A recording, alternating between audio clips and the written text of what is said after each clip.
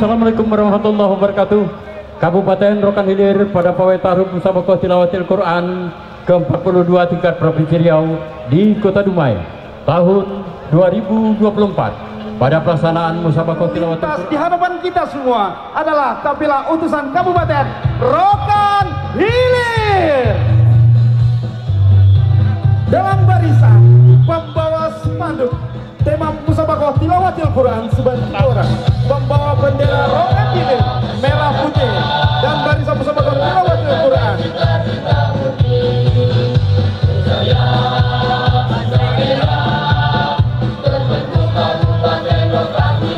Dan barisan-barisan manggar membawa pencerbung umbul-umbul MTQ dalam barisan berjajar rapi inilah dia Kabupaten Rokan Hilir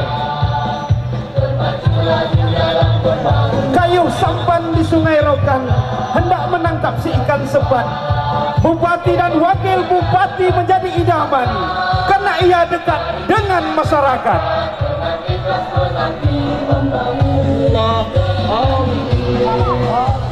Tuan dan puan jemputan yang kami muliakan Yang akan melintas di hadapan kita semua adalah Mobil hias menampilkan merupakan ciri khas Kabupaten Rokan Hilir. Negeri yang dijuluk dengan negeri seribu kubah. Khususnya dengan menjulukan itu muncul Karena Kabupaten Rokan Hilir. Banyak bangunan-bangunan yang berbentuk kubah. Dan masyarakat yang religius. Selanjutnya, ranting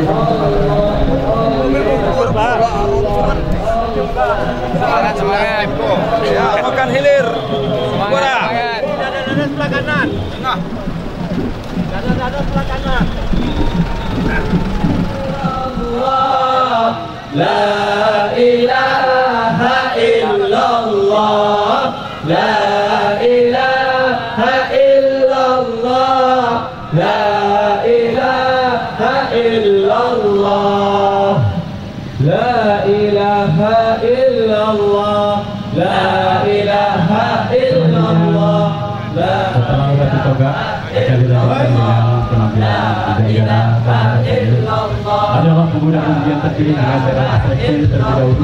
melalui proses pemilihan dengan berbagai tahapan seleksi yang berada di bawah pengawasan Dinas Pendidikan dan Dinas Kebudayaan Pariwisata dan Olahraga Kabupaten Hilir yang dikenal hingga sampai keluar Baik tuan dan puan, melintas di hadapan kita bersama pimpinan Kabupaten Rokan Hilir.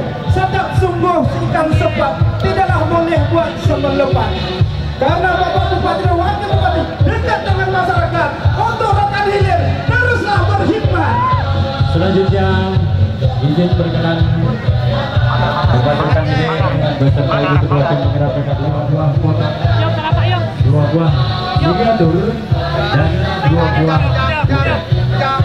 Bagian yang tidak terpisahkan dalam pemberian cendera hati, bagian daripada hati dan sekalung keikhlasan daripada kami Kabupaten Rokan Hilir yang langsung diserahkan Bupati Rokan Hilir Bapak Afrizal Sinto dan dan penegakan nilai-nilai dan norma-norma yang berlaku di masyarakat. Tokoh masyarakat juga berperan dalam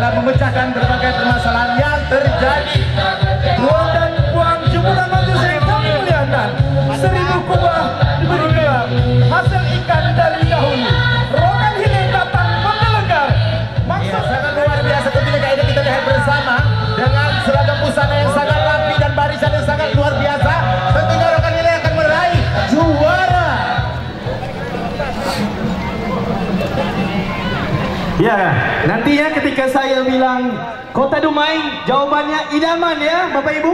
Oke. Yap, selanjutnya akan kita saksikan penampilan dari marching band Gita Wibawa Praja, binaan pemerintah Kota Dumai.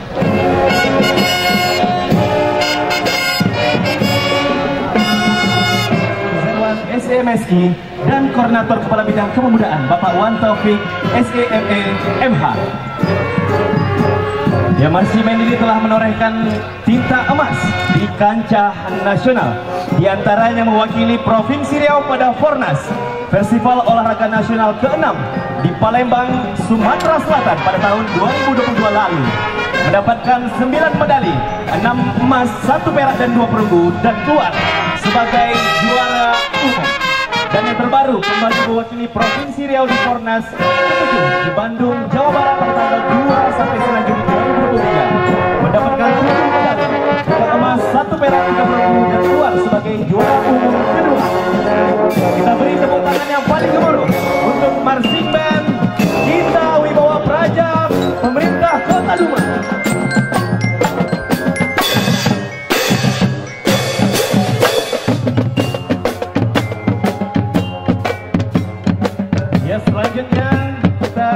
bersama ikut menyertai kafilah pemerintah Kota Dumai.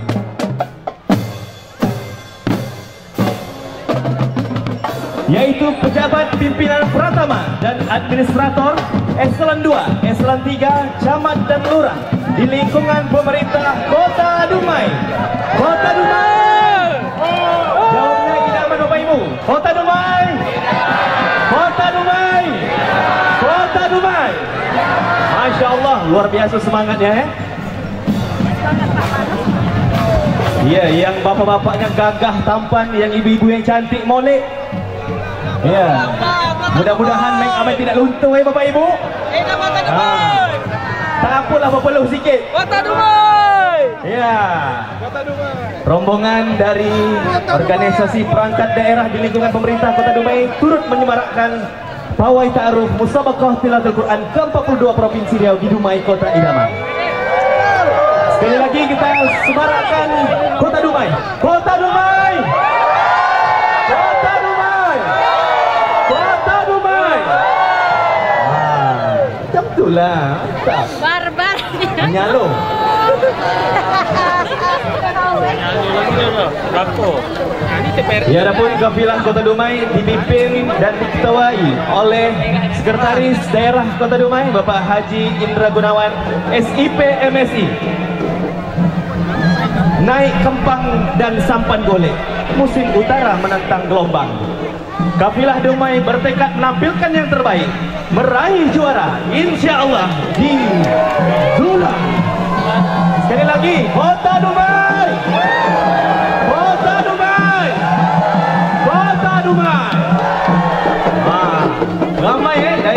Negeri pun hadir. Dari Sinamboy pun hadir mungkin.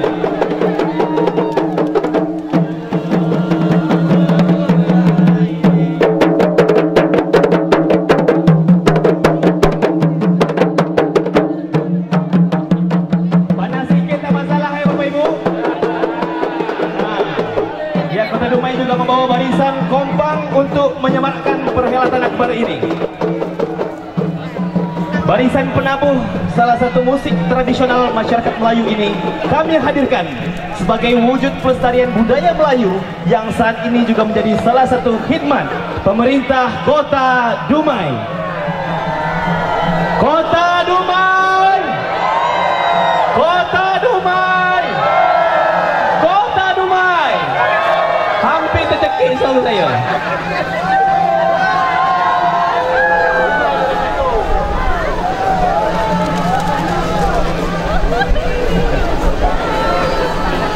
Lagi? Kota Dumai! Kota Dumai! Kota Dumai! Iya, dan sebentar lagi akan melewati panggung utama dari BKMT Kota Dumai.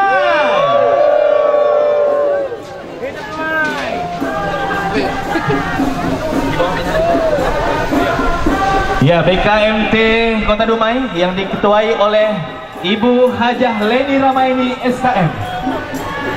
Mari kita semarakkan Kota Dumai. Kota Dumai. Oh, saya mau sambil nyanyi. Tak dapat nak menjawab. Sin Habibillah.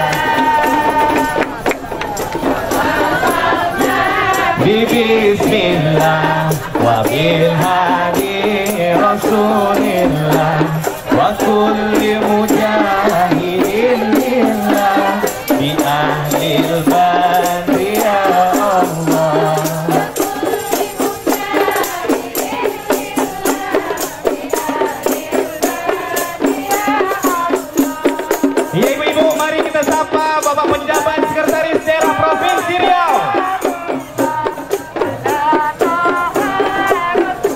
Ya, mobil hias sudah dua mobil ya yang melewati panggung utama. Dan sebentar lagi akan melintas di hadapan kita bersama dari tim penggerak PKK Kota Dumai. Tentunya yang diketuai oleh Ibu Wali Kota Dumai, Bapak Ibu Leni Ramaini SKM.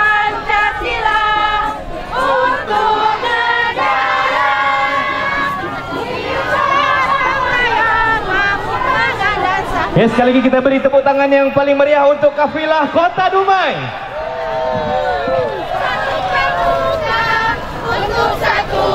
Ya selanjutnya dari Pramuka ya, Pramuka Kota Dumai hadir turut menyemarakkan pawai ta'aruf Musabaqah Tilawatul Quran ke-42 tingkat Provinsi Riau di Dumai Kota Idaman.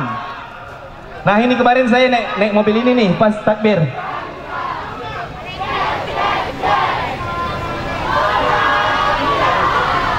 Baik, Bapak Ibu, encik-encik, puan-puan dan tuan-tuan, jemputan majlis yang kami muliakan.